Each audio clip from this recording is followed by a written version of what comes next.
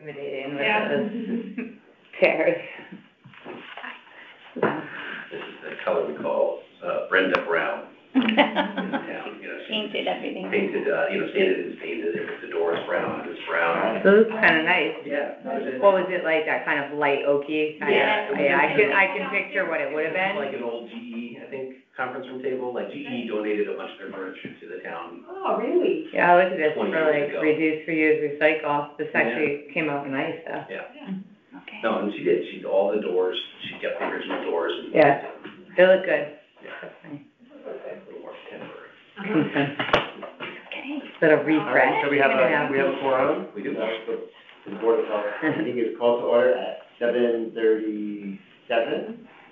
Okay. And so, before we start, are there any motions to, uh, additions or corrections of the meeting, of the minutes from last meeting? You guys got copies of it? No, no, no. No. I somehow missed that meeting, there was some sort of conflict or something, and I was like, oh, I missed that, the first I meeting I missed.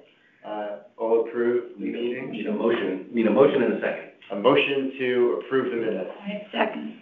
And a second. all right? Mm. All in favor? Aye. Any opposed? How's that? That's okay, Robert's rules, Robert's is looking down on you. You got. Um, so, we have the, mo- so we can start with, uh, the Sure. director's report? So I'll do a quick, uh, COVID update. Nationally, cases are kind of leveling out. Uh, we're still about hundred thousand cases per day on a seven-day average.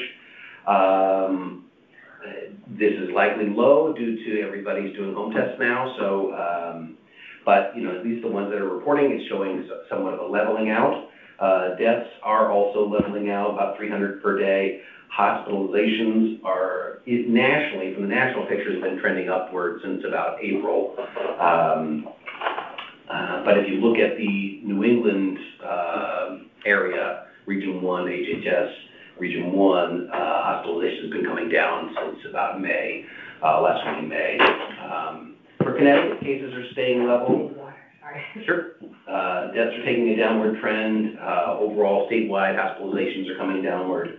Uh, for Fairfield County, uh, the CDC has a medium community level. Uh, we had made it down to low for a week or so and then creep back up to medium. And, uh, for the town, we've, uh, the case level has kind of been staying level, you know, level with a slight upward trend for the last four weeks, um, since our last meeting uh, but generally just level. Um, and, uh, so the, the only sort of new news with COVID is the, uh, the, the B, BA two dot seven five variant in India is, the new variant, uh, that's, uh, causing some concern in terms of, uh, just it's, it's spreading more quickly than any previous variant so far. It's too early to see, uh, to, to indicate if there's, uh, any, uh, increase in severity of illness, uh, you know, but, uh, there's seeing the spread really quick, uh, through India right now, and it's been, uh, appeared in, in about ten countries, and including a few in the US just recently. Uh, Let me get my water and stuff like this, you go from the outside, guys, um, So, um, you know, the next, uh, uh, event that's been sort of, uh, taking up, uh, a fair amount of the health department's time is uh, monkeypox. So we've been working with the staff, Santino will talk a little bit more later, but working with staff, just trying to prepare, uh, for, uh, what we may have to do, our role in that. Um, um, we, uh, provided some initial guidance to fire and police in terms of responders and, uh, the types of PPE that they should be wearing, um, uh, when responding. Um, and, we are meeting with them tomorrow afternoon, Jill and myself, with, fire, police, and AMR, the ambulance service for the town, to go over, any questions they have and just give them some general guidance, um, which is what we did with, over the years, anytime there's a new, uh, emerging pathogen, we'll meet with them and just kind of respond to the concerns and find the answers that they have. Um, Connecticut did have, um, our first case just last week, and over the weekend, there's been two more cases, and so we're up to three cases right now. Um, and, uh, they've started doing some limited vaccination, uh, mostly out of healthcare facilities, and it hasn't got to the point where we'd be doing any kind of mass vaccination at this point. Um, and just today, the CDC set up a, series for the next three weeks to have meetings with local health and state health to kind of just, uh, provide guidance, if you will. So we'll have one starting this week. Um, one of the things, another thing that kind of took up a fair amount of our time is we had the Western Connecticut State University uh, tick-borne disease prevention laboratory um, received a, bunch of samples that were on a, a pet of a Fairfield resident down in the beach area that had dozens of ticks on them. And so they tested the ticks and it came, turned out to be the Asian longhorn tick, which is a, which is a newer tick to the area. I mean, it's been around for a few years, 2018, I think, was it? Was when they first started identifying, and then they did some historical research and looking back at samples and ticks that were misidentified. They said they think it's been here since 2010 in the United States. Small like a deer tick or big like a dog tick? It's smaller, on the smaller side, yeah, small, Wow. smaller like a deer tick. And so the, um, so they found a bunch of these ticks, uh, down in the beach area, uh, and, uh, on this dog, uh, and then they, uh, asked if they got permission to come back and do some sampling, uh, surveillance sampling in the beach area. And so we worked with the town attorney and the first selectman's office to get approval for them to come through on, on town property, and they did, you know, essentially it's dragging like a felt-type cloth across the ground and along bushes and along the edges of, uh, you know, uh, the Penfield, uh, auxiliary parking lots across the street, uh, some along the Jennings Beach, uh, sort of where the parking lot meets the walkover bridges, sort of that edge there, and then around the edge of where the Sandcastle Playground is, and they, uh, found lots of ticks. And so it's just indicative that this tick is now established in this area. Uh, and so the concern, Uh, related to this tick is not necessarily, it doesn't cause human or animal disease at this point in the United States. It's capable, in other countries, it, it transmits disease, but they haven't found that here yet. And, and it's more likely to be, the disease that they carry is typical, it affects livestock. So it's, it's right now not a concern for people and pets, but the concern is this, this tick, the unique part of this tick is that the female can reproduce asexually and uh, essentially clone themselves. And so what happens is these ticks multiply very rapidly, and so you can have, it's, it's, it's not uncommon to have, you know, a dog that brushes up upon it to get hundreds of ticks on them at the right time, you know, when, when these are hatching. And, uh, and, uh, um, and so, so that, that's a, a concern, you know, people will be concerned about seeing that. So we did put out a press release, uh, related to that. Um, uh, they gave us some, some guidance that we gave to the Parks Department and Public Works and Conservation. And they've already gone out and, uh, done some trimming back in those areas to get the bushes and overgrowth away from, sidewalks and walking paths and, you know, just further away from where people might come in contact with just branches or leaves kind of brushing up against have any kind of disease in other countries that we, Yes, yes, so, but only on livestock? no, no, it, it, it transmits disease in Australia where it's been established for a long time, so it's, it's, it's a competent vector for disease, it's just disease hasn't been established in the ticks. And they're, you know, in other countries, it's a competent vector for disease, so in, you know, in, I think it's, uh, Japan and Australia, uh, it, it transmits human disease, so. Do we know if the existing deer tick that does carry disease here for us can transmit to this tick? Can they share disease? So that, you know, i- from what I remember the conversation I had with her, that it, it, it doesn't appear to be a competent vector for Lyme. Um, it, it wasn't great in a laboratory setting, but that's not necessarily what happens in, in, you know, in nature. So, uh, but don't quote me on that. You know, I, you know, it's, it's, I had a series of conversations with, uh, Dr. Connally, who's, uh, up at, uh, Western Connecticut State University. Um, and they're gonna come back through the summer and, uh, and do additional surveillance testing. They're gonna send some of the ticks out to see if they, uh, contain disease. And if they contain disease, doesn't necessarily mean that they transmit it, you know? Um, so, but it's a, it's a new thing here. We went back through our, uh, you know, the, the concern is not necessarily the presence of the tick. It's been around this area. It's been identified in Connecticut. We've had since September twenty-one, six individual, uh, samples come back with this tick. But the thing that's different is that just, you know, this, this pet had lots of ticks on it. And they have confirmed that it's well established in this area. And it's really the, you know, the same tick prevention strategies as other ticks that you would employ of just, you know, putting on repellent if you're gonna be out in areas where you're gonna brush up against it.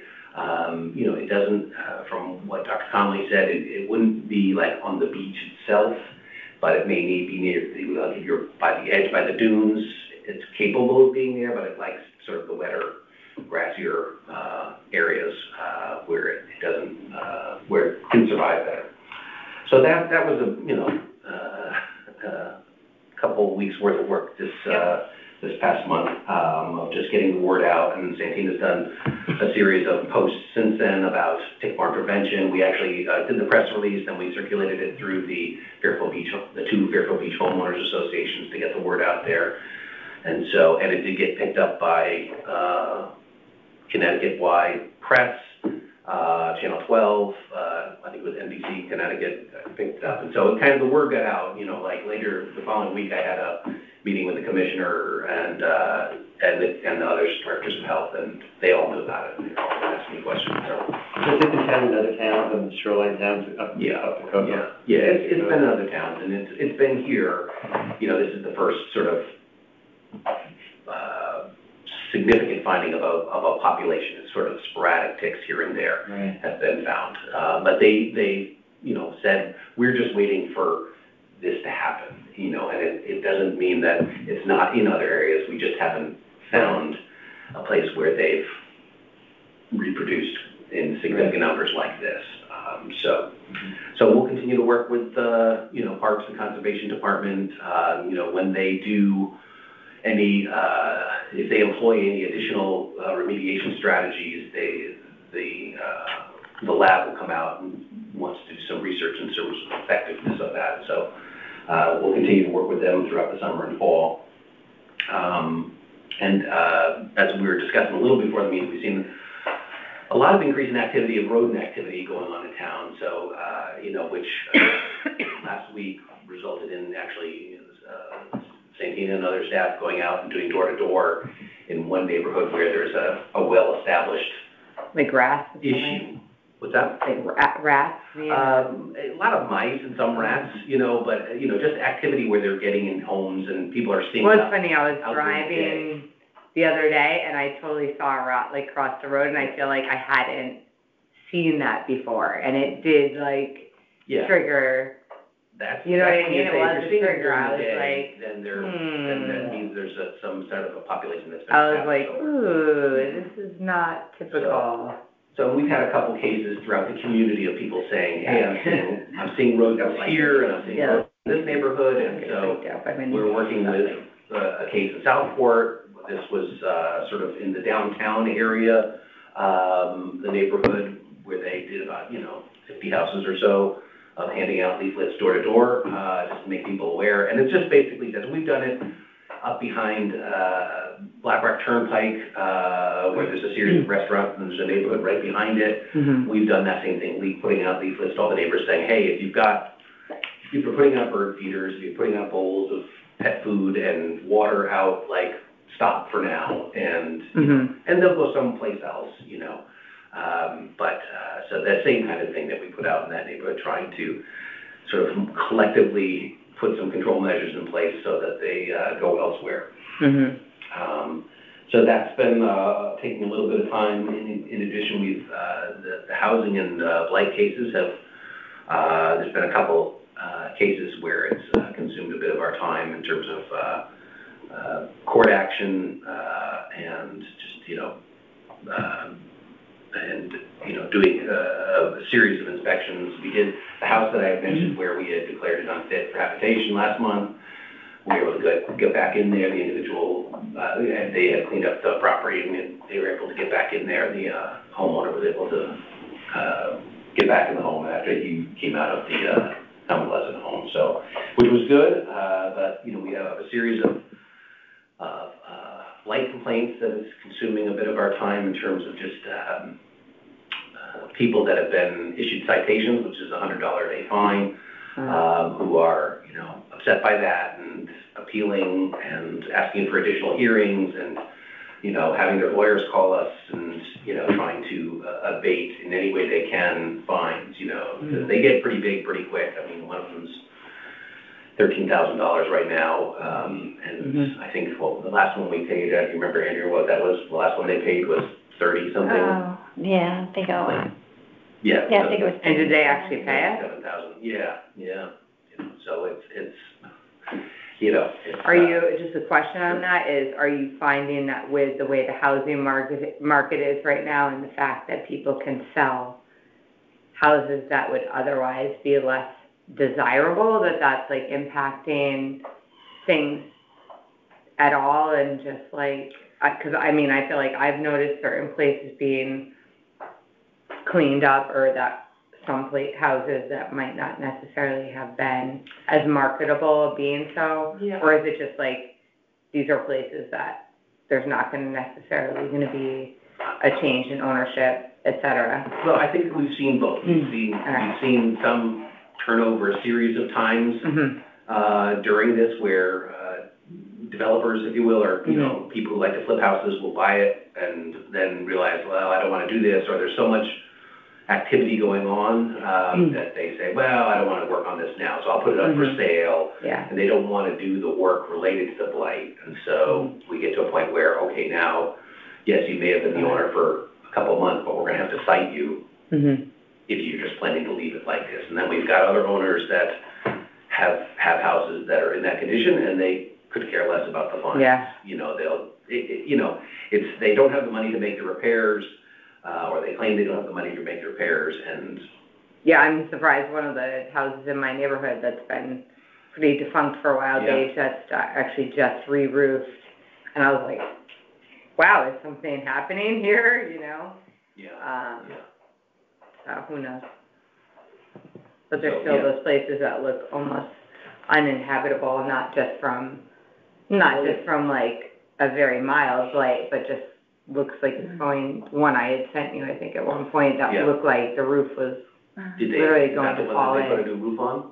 no, No, this is okay. really another one that has like tarps over the roof and like the complete porch, everything is sunk in, like it looks like it's Yeah. going to collapse, like, Well, not even that kind of blight, but like unsafe. Yeah, just by all means, send us an email of the address. Yeah. We'll put it on the list, you know, it's, it's, but like the other one that you had Mm-hmm. mentioned, you know, that's the one where they, they sold it, and then they're selling it again, and, Mhm. you know, we're probably gonna have to end up cite, issuing a citation on the new owner, you know, who, Mhm. who started to make repairs, took care of the condemnation issues, the structural Right, right, right. unsafe issues, and made it stable, but doesn't want to invest the money in taking care of the blight issues, you know, which Right. is more the, the appearance of the house, you know, it's missing siding, it's, the roof is damaged, there's a tarp, you know. And they're given a reasonable amount of time to get all this done. They are, I mean, Oh, we I'm sure them, it's you know, just we have like to. money. we have When to- you do that, just a question, do you, um, send information about those, like, through the housing and economic development? Do you send any information on the, like, single-family rehabilitation Yeah. programs? Yeah, Okay, you know, that's just in case they part of weren't it, yeah, I aware. mean, we make them aware of, you know, The if, they're communicative with us, you know, we Mhm. make them aware of the programs that are available through the town. A lot of them just ignore us. Cause you know, they have supplementation programs, if it's a, if it's like, if you're a first-time homeowner, that, um, the town, if you're within a certain income bracket, you actually can get sixty percent of it covered by the town. Yeah. And forty percent you have to cover, so for things that are not aesthetic, like in, on the interior, but things like roofing, siding, um, that are actually like kind of a, either a safety piece or just like a house maintenance, um, out, exterior aesthetic piece, and it's like a really good program, cause it puts in it's like as a lien on home or if you either refinance or whatever else, but it's a really good program. I know, I've known a lot of people use that because it just gave that differential where somebody who couldn't otherwise afford it was able to afford it, you know, I mean, it's a big difference. Those are great programs, yeah, Mark will come to our meetings every now and then again, you know, Mhm. um, as well, so. But, so those have been, you know, consuming, uh, we have the one where we, uh, declared the unit to be an illegal apartment, um, where the individual is, you know, now in court, and so we've had hearings last week and next, this week, um, uh, where we're just trying to work out the logistics of it, um, and, and the relocation aspect of it, so that gets complicated.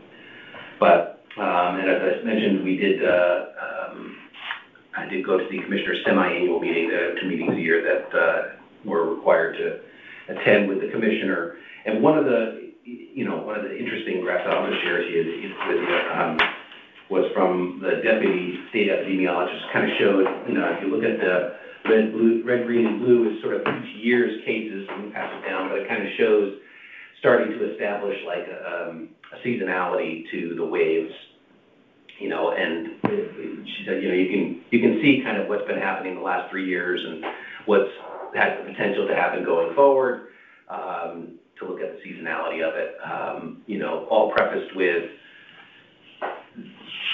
COVID has surprised us every year, and, uh, so it could follow a completely different pattern next year. But, um, so, but it's just an interesting presentation from the, uh, the state epidemiologist and the deputy state epidemiologist about sort of their thoughts on it. You know, the, the one quote I'll share from Dr. Cartter, who's a state epidemiologist for a long time. Um, oh, here, here we go. Trying to find his quote. Oh, I guess it printed out wrong. Well, I can't quote it because it didn't print out right. But basically, it was something like, you know, pandemics come in with a bang and go out with a whimper, you know, and it's like there's, it's, you, de- trying to define the end of a Thank you. pandemic is difficult.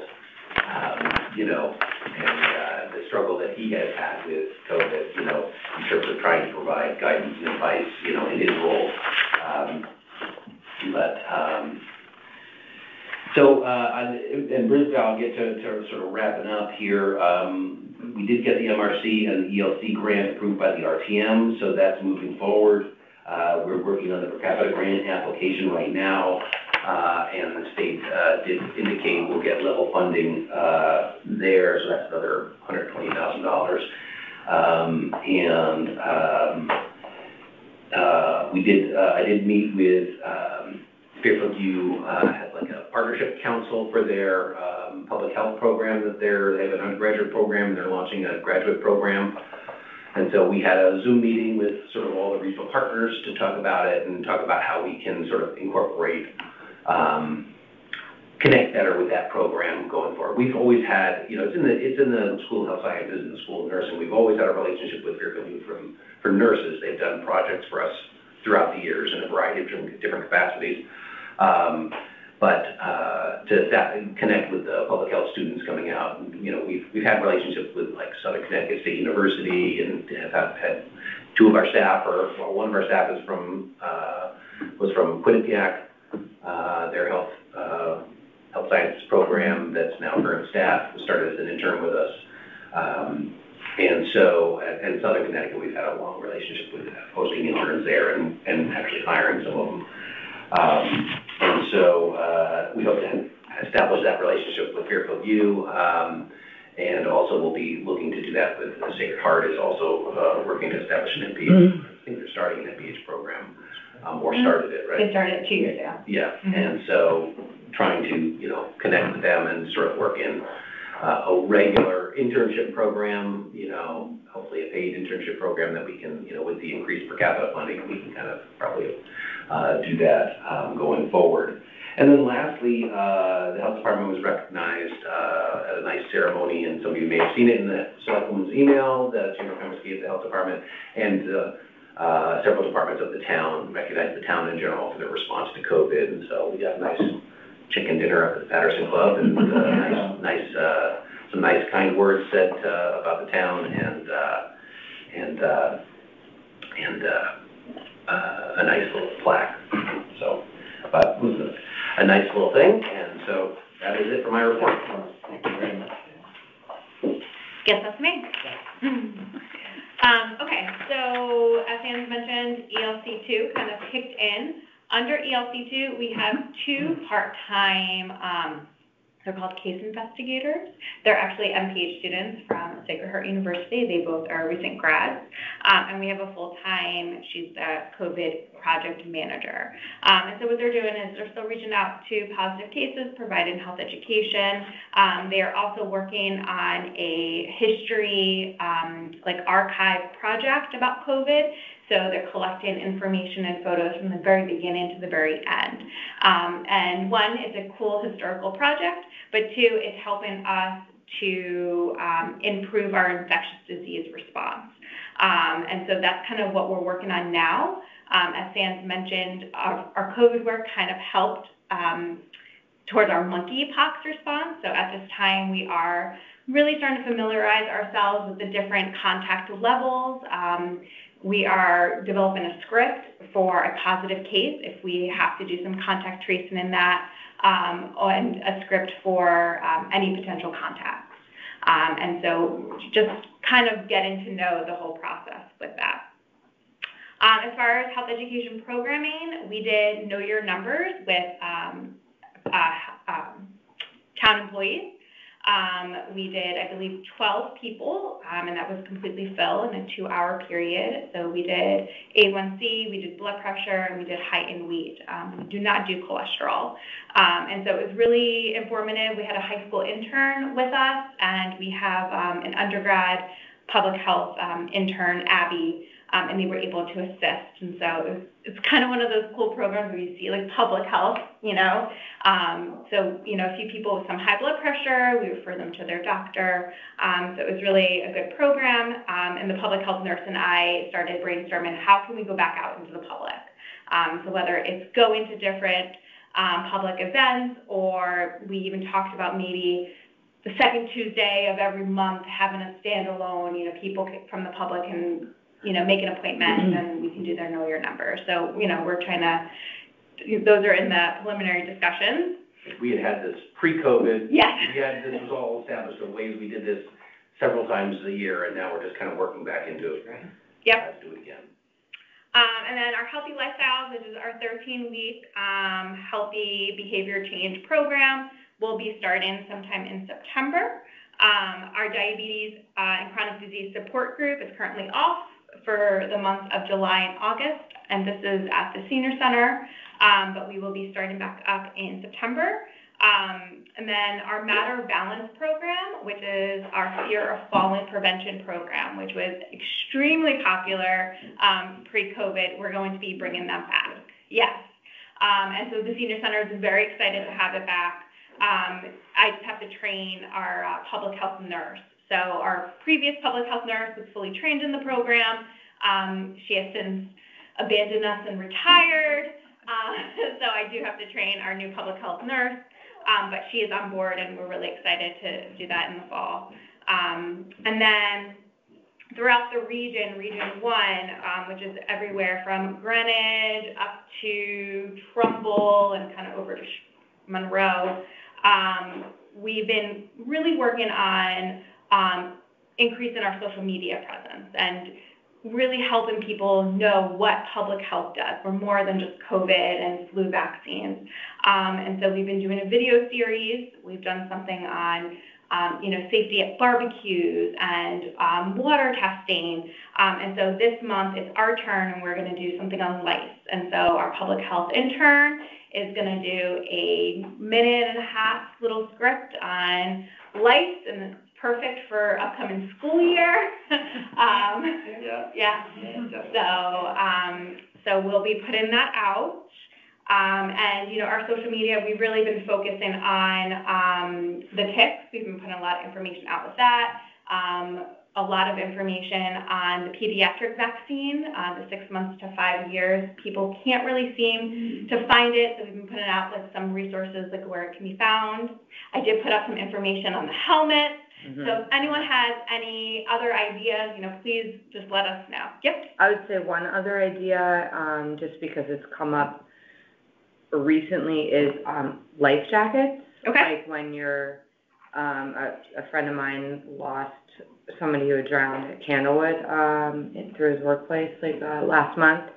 And it was just like somebody was very experienced and on, on the boat, so I think it's just like that reminder that when It's you're, actually a really good point. Yesterday, we were just sitting at the beach and there were two paddle boarders and my husband said, they're gonna get trouble, they don't have a life jacket. And I Right. didn't know that that was a Paddle- rule, that even if they don't Mhm. wear it, they have to have it on. well, and I'm telling you, I've been kayaking actually a lot in Black Rock Harbor and always have the life jacket on all the time, and every now and then it's like, we'll see somebody who has it on the side or next to them or something, same with on the boat, it's just like the idea that you won't necessarily have the time to just like grab it, put it on, hook it on in that moment when something um, happens, so I, I would say just like keeping it on for paddleboarding, kayaking, um, you know, being on a boat, like even if you're an experienced swimmer, because that, that person who passed away was like, was a totally experienced person, and who knows, I don't think they have the information of what happened, but it's like,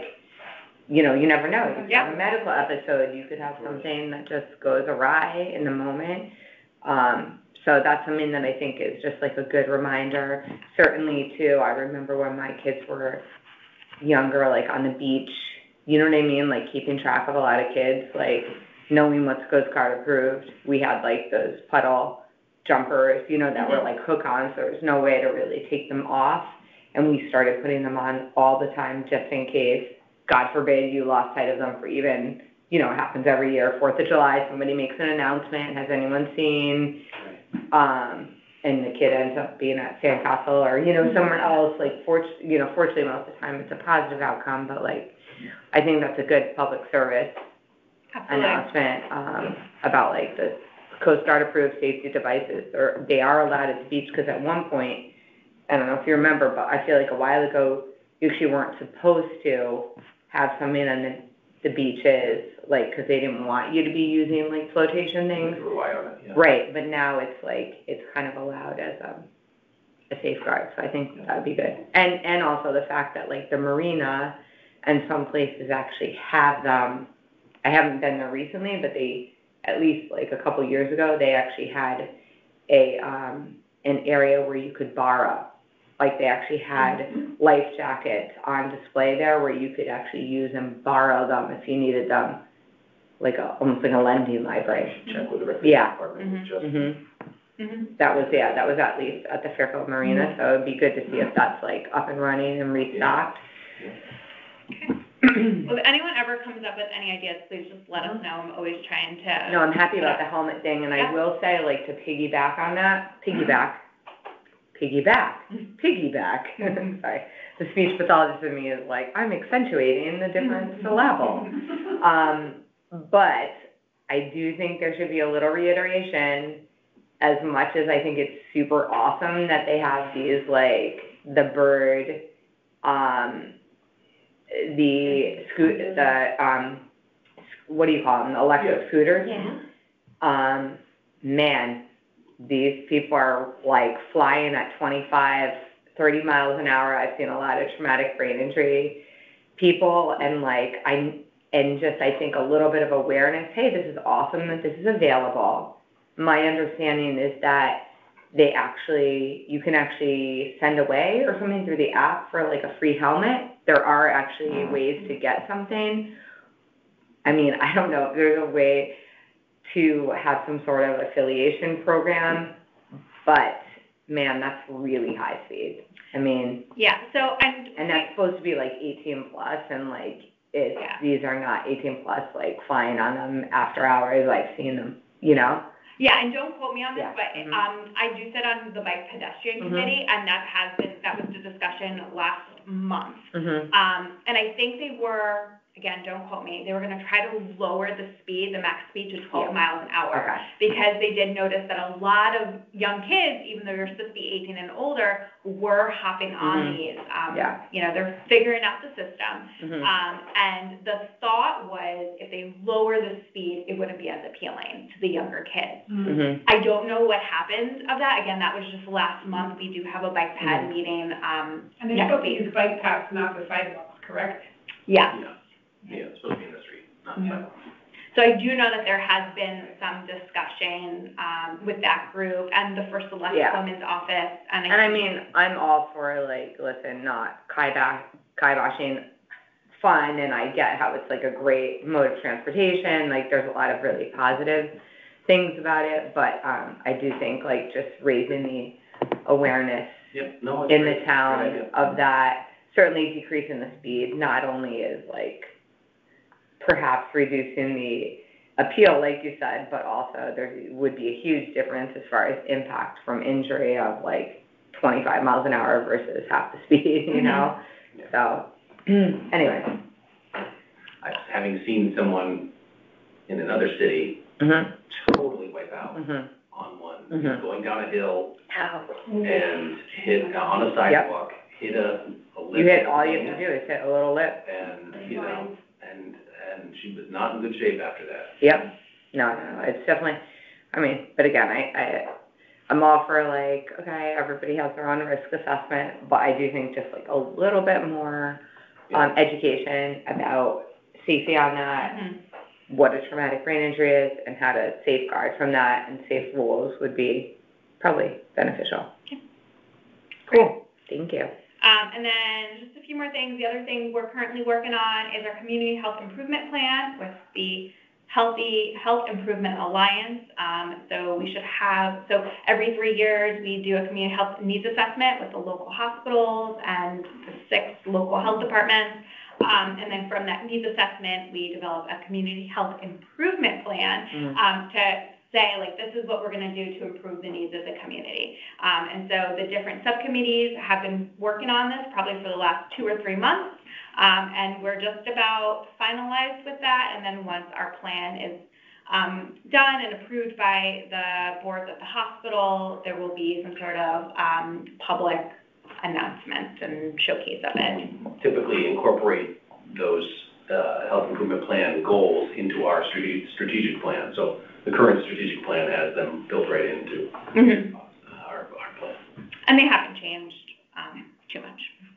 Um, And then we are um, doing a quality improvement. Um, We are working on our website. So going through our website, there is just so much information and it's not very organized. And so our um, public health intern, Abby, is going through the website and kind of trying to organize everything. Um, and so we're working on that, and hopefully that will be done, um, by the summer. Um, and then, again, I'm working really closely with Bike Ped Engineering and Department of Public Works to spend our preventative health block grant money, which I think we're gonna finish a sidewalk at South, South Pine Creek. So apparently there's an area where there's sidewalk, and then no sidewalk, and then it continues on again. So we're gonna try to finish up that area. Pretty much it. That's great. I have one quick question about the, the know your numbers, which I think is Mhm. great. Is there, what's the mechanism by which they get, that information gets, do you rely on the, on the person to relay that information to their doctor? or Yeah. Is there, so they would, because they may, they may understand what an A1C is. Most, Yeah, so- do, but not everybody. Yeah, so our public health nurse gives them really good in, in, education on that. So each person gets about a ten to fifteen minute allotted time. And so everyone kind of knows what their blood pressure is, but it's the A1C where we have the diagram and we show them like what level they're in. And we've actually had a few people who have said, okay, and they left and they called their doctor right away. And the goal of the program, you know, the whole thing, know your numbers, is about getting to understand, oh, hey, there's a couple numbers I really should Right. Mhm. keep track of, you know, my A1C, my weight, you know, um, you know, BMI. and, Yeah, the BMI and uh, blood pressure. Blood pressure, I should know those, you know, like, Right. and so when you go to the doctor and you hear them say, oh, okay, you know, you were, you know, well, you're one thirty over ninety, you know, and you, to know like, oh, that's high for me, you know, like, so they recognize that, and that's part of the program, is to, Yeah, is that's just great. that they know that stuff, you know. And we write everything down for them so that we tell them, take it with your doctor, so this way you actually see, it will say like high or, you know, whatever, like on the cusp, so. Yeah. Great. Mhm. Yeah. Thank you very much. So, were there any, any communication? I had none. Is there any old business that you guys wanted to talk about? Is there any new business we want to talk about? I have none. You can put in it, Jim. Okay. Um, so nothing, else- nothing else that anybody wants to discuss, so is is there, Great, is miracle. there a motion to adjourn? So moved. All right. All in favor? All in favor. Okay. And so, uh, just as a reminder, we typically skip an- the August meeting, and so we'll see you in September then. Okay. Unless there's an issue coming up or, uh, something that we need to resolve, uh, Okay. Prior to the school year, you know, um, but, Please say no to that. yeah, there was a, you know, a slight change in policy of the state, uh, related to our